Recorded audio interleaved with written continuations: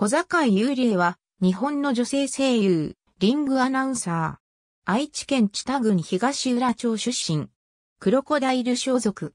声優ユニット、ギルドロップスのメンバー。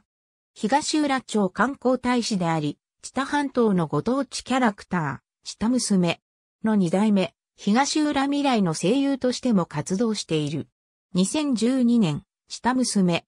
ご当地アイドル声優オーディションに、東浦未来役に合格し、声優活動を開始。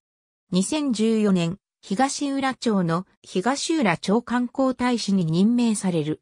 2017年2月19日、クロコダイル所属となる。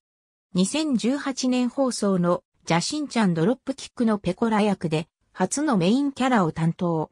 大学在学中は仕事の度に上京していた。現在は卒業しており、保育士と幼稚園教諭の資格を取得している。下娘。で、台北国際旅店にて3年連続ベストパフォーマンスグループアワードを受賞。